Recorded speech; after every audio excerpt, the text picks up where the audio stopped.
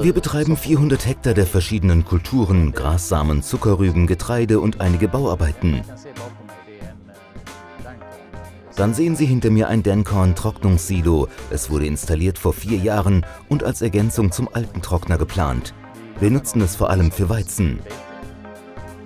Es fasst 700 Tonnen und wir befüllen es zwischen 4 und 700 Tonnen je nach den Renditen.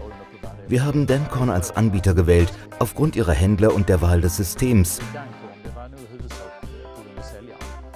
weil es eine perfekte Ergänzung zu den bestehenden Trocknern ist. Es war eine viel einfachere und billigere Lösung, anstatt zu versuchen, die bestehenden Trockner zu erweitern. Um es an die bestehende Anlage anzuschließen, haben wir ein langes Förderband installiert zum automatischen Befüllen des Silos. Das Silo funktioniert wie gedacht und ist sehr arbeitssparend. Den har fungerat bättre än tänkt när det gäller arbetsbehovet. Den sparar väldigt mycket arbete. Sie müssen nicht darüber nachdenken, wenn Sie mit dem Mähdrescher in der Früh starten und zum Abend zurück sind. Es erfordert die Aufsicht zwischen und nach der Ernte, während das Silo die Getreidetrocknung beendet. Ja, seit es installiert wurde, gab es kleine Servicebesuche, aber unsere schwedischen Lieferanten waren immer zur Stelle. Mein Ansprechpartner ist Jan Freimann von JL Agriparts und ich bin glücklich damit. Wenn Sie kleine Chargen haben, ist es gut in der Lage zu sein, die Speicher in kleine Abteile zu unterteilen, aber ansonsten ist es im Allgemeinen gut mit dem großen Volumen. Ich spare viele Stunden in der Erntezeit mit dieser Art von System.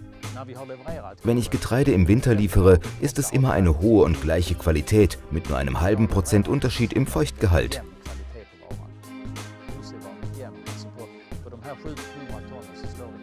Der Silotrockner passt perfekt zu meinem vorhandenen Trockner.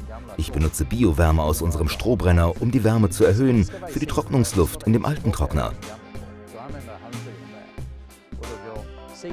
Zur gleichen Zeit läuft das Rührsilo mit kalter Luft und entfernt den höchsten Anteil an Wasser von 20 auf 17 Prozent.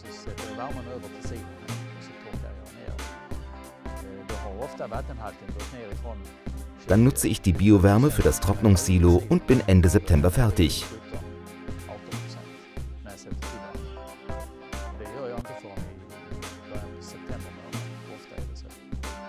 Wenn ich meinen alten Trockner ausgebaut habe, müsste ich auch nach einem Upgrade meines Strohbrenners in der Lage sein, genug Hitze zu erzeugen.